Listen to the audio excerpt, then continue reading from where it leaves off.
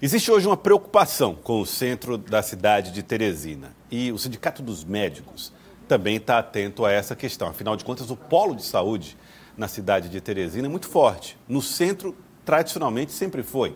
Mas qual é o futuro dessas instituições de saúde diante do que tem observado, que é uma queda, inclusive, nos negócios no centro da cidade de Teresina? Estou recebendo aqui no estúdio do nosso Jornal do Piauí a presidente do CIMEP e também da Federação, né, da FENAM, a doutora Lúcia Santos, que já está aqui com a gente, e também para participar dessa conversa conosco, o doutor Samuel, que é diretor da FENAM e também do Sindicato dos Médicos, vice-presidente do CIMEP, e a visita do doutor Renato Leal, que não só é médico, não só é integrante da direção do CIMEP, mas é um morador do centro da cidade, que tem também o seu consultório no centro da cidade de Teresina. Quero saudar os três uma, desejando uma ótima tarde. Doutora Lúcia, Quero começar conversando com a senhora. Como é que surgiu a preocupação de vocês, os médicos, em formar uma associação que vai representar não só nesse caso o interesse dos médicos, mas de todos os comerciantes ali da região do centro?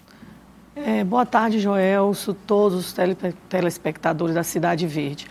Joelso, isso começou porque lá no centro tem um polo saúde, né? Que é em torno do HGV.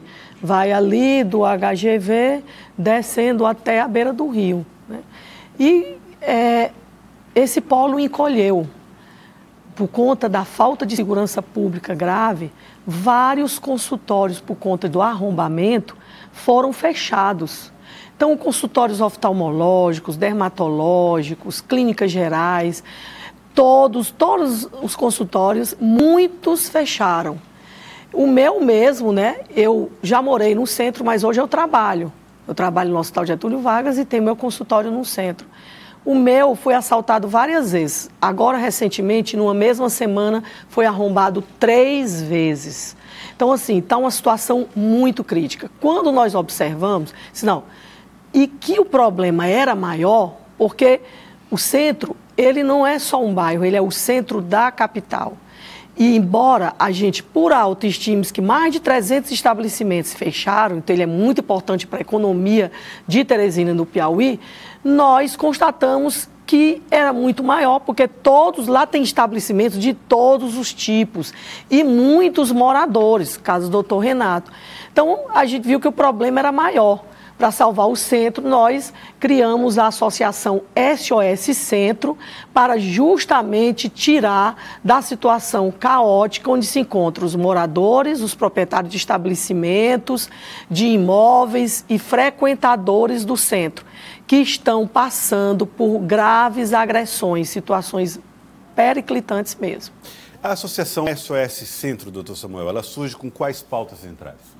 Olha, é, é, boa tarde a todos os telespectadores aqui da Cidade Verde. E assim, a principal pauta que nós estamos levantando, é, até conversando com moradores, conversando com os comerciantes, né, com as pessoas que estão interessadas em revitalizar o centro de Teresina, é a segurança pública. Então, o que nós percebemos ali é um total abandono né, do Estado em a segurança, que tem permitido a presença constante desses assaltantes e arrombadores. Não devemos confundir essas pessoas, Joel, com moradores de rua, não. São bandidos, são assaltantes, são arrombadores e que precisam ter uma intervenção urgente da segurança pública. Então, o centro também é um local que à noite é muito escuro, né, o que é, favorece a ação dessas pessoas.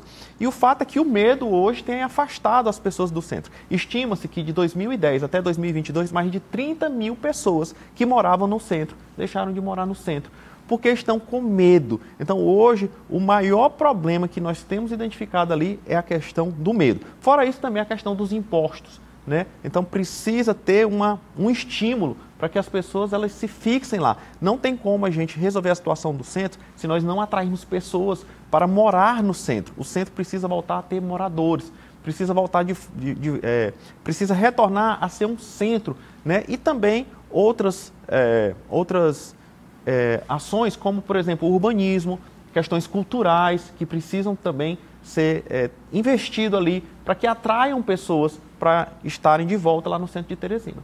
Doutor Renato Leal, é, o senhor tem um, vive num lugar que eu considero especial, local, por exemplo, onde eu cresci, né, na, na rua Firmino Pires, no centro de Teresina. E a gente foi observando ao longo do tempo a dificuldade de morar no centro, o que era uma grande vantagem nos anos 80, anos 90, está se tornando uma dor de cabeça, doutor Renato. O que é que o senhor acha que é mais urgente para ser feito como morador e médico que trabalha e vive no centro? Boa tarde, Joelson, e telespectador da TV Cidade Verde. Esse aqui é o, o, o problema principal, é exatamente a insegurança, tá certo? Quando eu comecei, eu moro no centro, sempre morei, e tinha meu consultório ali na rua 1 de Maio. Eu tive de sair de lá porque ficou totalmente impraticável ficar lá. De primeiro, quando eu comecei, eu ficava lá, atendia até 10 horas da noite, não tinha problema nenhum. Depois tive de diminuir para 5 horas, depois uhum. ficou inviável. Hoje eu tenho de ter meu consultório numa clínica grande, porque lá no meu espaço não era mais seguro. Ah, e, e, essa região que você está falando é ali perto do Hospital Getúlio Vargas? Exatamente, é ali em torno do, do 25BC. Perto do 25BC? É. Então, no 1 de maio, norte, né? Mais Exato, 1 de maio, norte. Entendi. Quer dizer, é uma região ainda que tem o, o, o, o, o exército, né? Uhum. Teoricamente seria uma coisa mais segura, só que não é. É do mesmo jeito. Lá de frente, praticamente de lá, atrás da minha casa, tinha uma clínica que, há uns um, seis meses atrás, entraram, levaram todos a fiação, os computadores e tudo. Quer dizer, não tem mais sossego nem bem próximo ali da. O que, você acha que é mais urgente para a associação fazer, em, falando como um morador da região?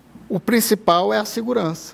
Nós estamos, a, o centro da cidade ficou totalmente abandonado. As praças não tem mais. De primeiro tinha aquele, o, o posto policial nas praças, hoje não tem mais. Uhum.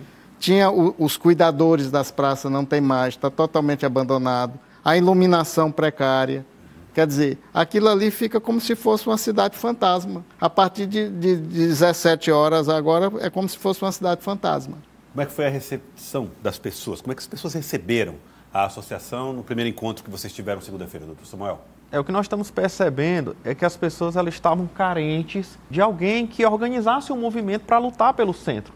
Né? Então, esse é o nosso objetivo: organizar esse movimento para que a gente possa somar esforços, para que a gente consiga, de fato, é, cobrar dos gestores aquilo que é obrigação deles. Né? Não, não, não estão fazendo nenhum favor, mas nada mais é do que a obrigação, porque a segurança é um dever do Estado, garantir a segurança do cidadão. Então, as pessoas elas estão realmente é, com muitas queixas, com muitos testemunhos, recebemos muitos vídeos né, de câmeras de segurança mostrando a ação desses bandidos. Muitos são presos e depois são soltos pela justiça, o que é uma problemática que nós também precisamos discutir. Né? Então, assim, o fato é que é, não é é, certamente uma solução simples, nós entendemos isso, mas nós entendemos também que essa unidade que nós estamos formando a partir da Associação SOS Centro, ela pode garantir um rumo novo né, para a situação do centro. Até porque muitos projetos de revitalização do centro já foram feitos, estudos já foram feitos, mas a questão é colocar isso em prática, é isso que está faltando. Então, a Associação SOS Centro, ela vem como essa força motriz para movimentar, né, para cobrar aí dos gestores que esses projetos sejam colocados em prática e em relação à segurança pública, e isso tem que acontecer de forma imediata, de forma urgente. O secretário de segurança, o comandante da Polícia Militar, eles precisam sentar e organizar uma ação né, imediata para essa situação da segurança. Até porque nós já temos identificado que também o centro tem sido um problema em relação ao tráfico de drogas. Né? Então, assim, tem se tornado ali uma grande boca de fumo. E eu não estou falando aqui da questão da saúde né, é, pública em relação aos dependentes químicos, mas a questão do tráfico de drogas mesmo. Então, tudo isso aí precisa ser colocado em pauta urgentemente. Doutora Lúcia, para finalizar, a, a associação terá qual, qual passo como o seu próximo passo, ou próxima medida? É, Joelso, está é, tá na Constituição, planejamento e recursos públicos. Nós estamos exercendo a nossa cidadania, porque democracia não é só voto, é exigir esse retorno. O cidadão, ele é a fonte e a destinação desses recursos. Então, nós estamos trazendo para nossas mãos, cidadãos, a, a, a exigência de uma solução que é nosso direito. Então, de imediato, é segurança pública ali não é é, problema de saúde pública e tem pessoas que foram jogadas lá e que vivem em condições de vulnerabilidade e agredindo as outras, os moradores e os donos de estabelecimentos. Então o governo tem que imediatamente solucionar.